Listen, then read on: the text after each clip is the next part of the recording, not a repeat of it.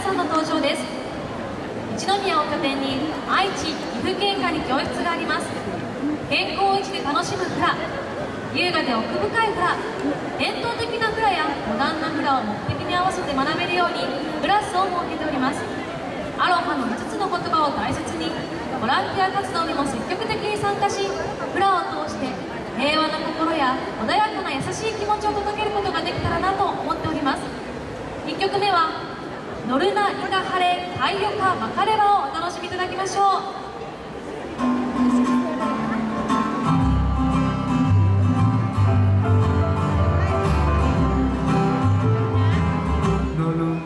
Kahalitay, kumakalma, nanakamakay